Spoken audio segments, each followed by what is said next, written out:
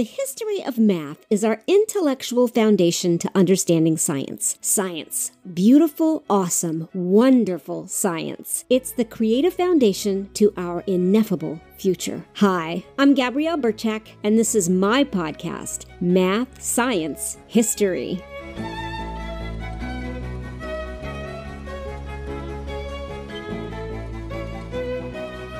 I often promote my website, mathsciencehistory.com. Of all the hosts that I've been with, my experience with Bluehost has been the best. What I really like about Bluehost is their customer service. It is top notch. You can access Bluehost through my affiliate link, www.bluehost.com slash track slash mathsciencehistory all one word. It's only $3.95 a month if you sign up for 36 months. So if you do the math, it's $142 to start. And for me, it was the smartest business investment I've ever made.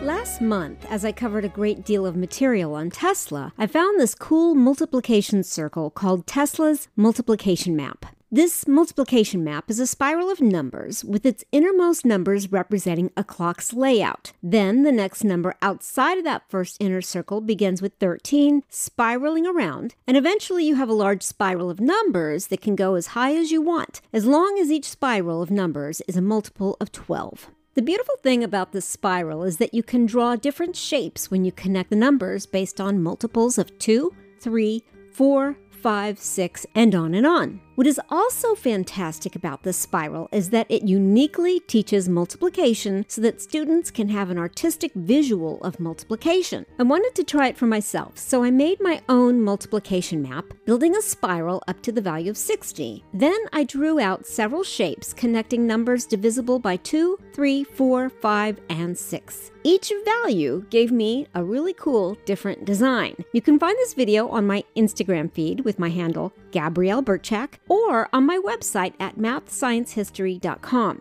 A teacher in Arizona by the name of Joey Grether attributed this map to Tesla. Grether intentionally named it Tesla's multiplication map because the name Grether's multiplication map could not seem to gain traction. He designed it to look like an old document and titled it N Tesla map to multiplication. Then Grether fabricated a story that a local artist by the name of Abe Zuka found it at an antique shop in Phoenix. According to Grether's story, Zuka shared it with Grether, who, quote, had a few breakthroughs, unquote, stating that the map, quote, offers a comprehensive visual understanding of how all numbers are self organized into 12 positions of compositability, unquote. This misattribution is called an eponymy. Eponymy is a theory or an idea that is named after the wrong person, which is usually the person with the most notoriety. In Grether's case, he intentionally named it after Tesla to gain internet traction for this map. Eponymy comes from the evidence that shows how celebrated scientists get more credit than unknown researchers do. American sociologist Robert Merton called this the Matthew effect, which he referenced from the Bible verse Matthew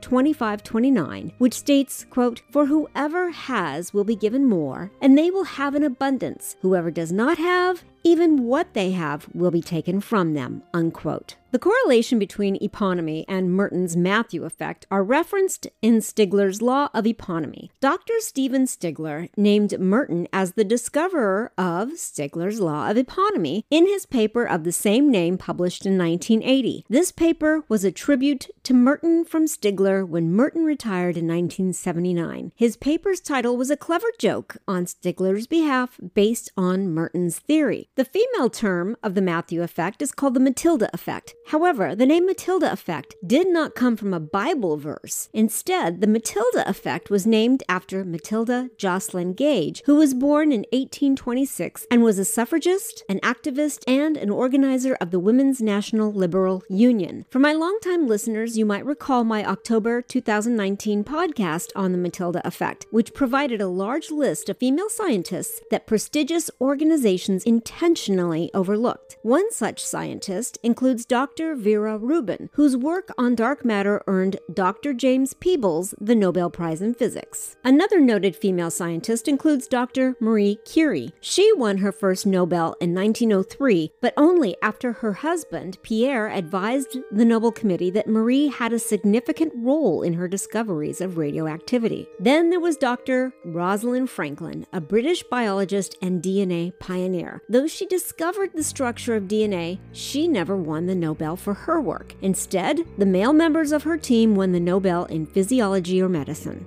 In ancient history, one of the first known misattributions comes from 300 CE when the mathematician Pappus referenced another mathematician by the name of Pandrosion. Historical writers had identified Pandrosion as a man. However, Pandrosion was one of the first known female math professors. Other earlier known forms of eponymy include the Fibonacci sequence, which is 1, 1, 2, 3, 5, 8, 13, 21, 34, 55, and on and on and on. This sequence is a list of numbers first attributed to Fibonacci by the mathematician Eduard Lucas in the late 1800s. Lucas noted that each new number is equal to the sum of the previous two numbers. However, this sequence was first presented in 200 BCE by an ancient Indian author, Acharya Pingala. Then we have the Hasse diagram, which is a mathematical diagram used to represent a finite partially ordered set. This diagram is a two or three dimensional object where a point connects each line. Each of those points represents an element in the set that is partially ordered. These diagrams are attributed to Helmut Hasse. However, the mathematician Henry Gustav Vogt first used these diagrams three years before Hasse was even born. Then we have Newton's first law of mechanics, which states a particle in motion will continue to move in the straight line at a constant speed unless that particle is acted upon by an external force.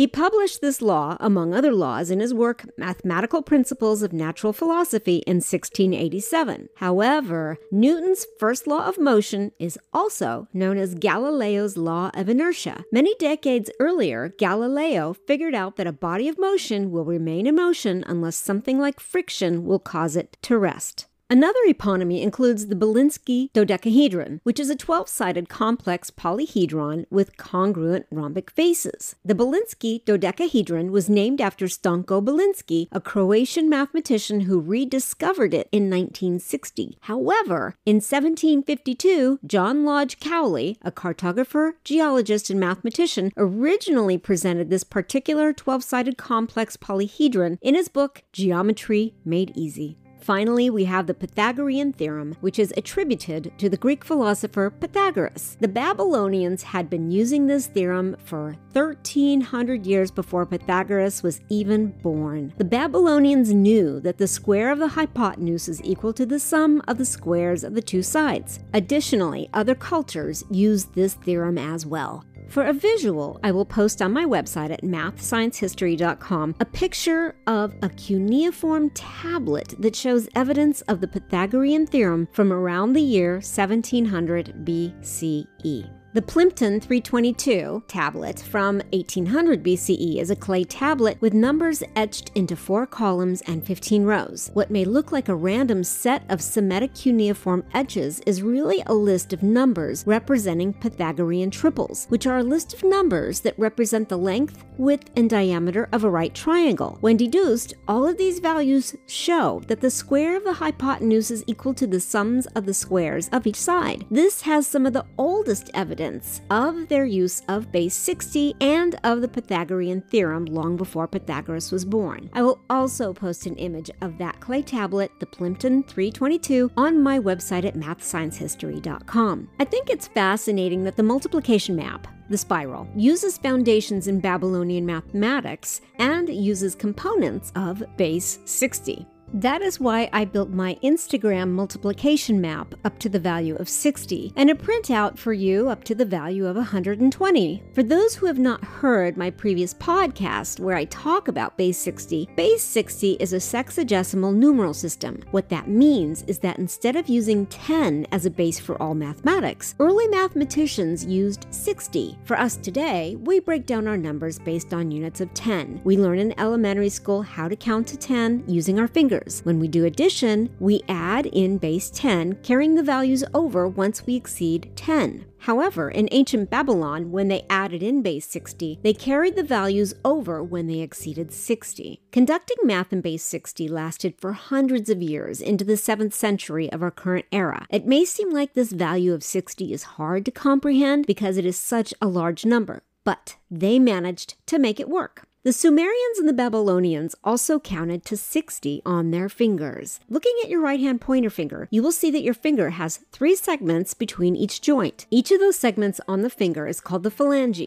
When you use your thumb to touch each phalange on your right hand, starting with your pointer finger, you will be able to count up to 12. Now, as we continue to count, we use the left hand digits to count for every value of 12. When we do this, we count to 12 five times, which equals 60. As for the attribution to Tesla for the multiplication map, I think that Grether should have gone further back to 2000 BCE to those who first did math in base 60, the Sumerians. Base 60 has been around for over 4,000 years. Even in the 4th century BCE, other cultures worldwide, including the Akari people of Indonesia, used base 60. However, base 60 has significant value in our current mathematics. It is the heart and soul of mathematics. Base 60 is still used today to measure geographic coordinates, determine the time on our clocks, and study angles in geometry and trigonometry. When we fall into a deep sleep, our hearts beat at around 60 beats per minute. And in a study done at Ruhr University, Bochum, cardiologists found that music that plays at 60 beats per minute, like Mozart's Symphony Number no. 40 in G minor, reduces stress and increases your relaxation, which helps you to study and retain information. If you would like to print out a copy of My Sumerian Sexagesimal Spiral, please visit visit me at mathsciencehistory.com. I have decided to reattribute the name of Tesla's multiplication map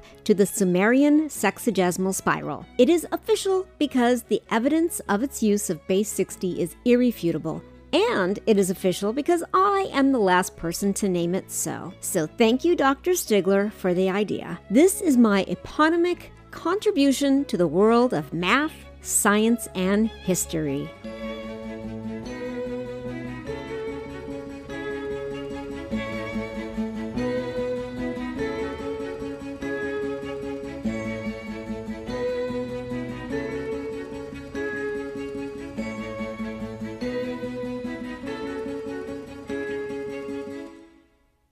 For joining me at Math Science History. Please remember to subscribe to the show. Also, if you could leave a rating or review, it would be so appreciated. Those ratings and reviews really help to increase my listenership, which help me to get more sponsors, which help me to keep the podcast up and running. If you want to learn more about the history of math and science, please visit me at mathsciencehistory.com. And if you like what you're listening to, please feel free to click on that cup of coffee image and buy me a cup of coffee or two two or three or four. Because every cup of coffee that you buy helps me to pay for the expenses that go into making this podcast. Also, if you're interested in leaving me a comment or chatting with me, you can always find me on your preferred social media platform, including Twitter, Instagram, Facebook, LinkedIn, and Goodreads. Just search for Gabrielle Birchak. Until next time, Carpe Diem.